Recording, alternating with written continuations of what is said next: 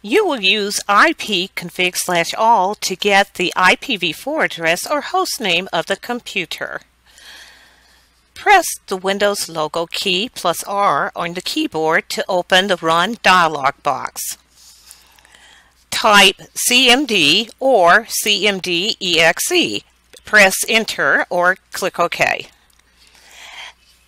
Type ipconfig slash all and press Enter. Locate and write down the IPv4 address of your computer. If you are using multiple network cards, make sure that you look at the network device that is connected to your network. Your active IPv4 address may be listed under Wireless LAN Adapter Wireless Network Connection or Ethernet Adapter Local Area Connection. Scroll up to the top to locate and write down the host name.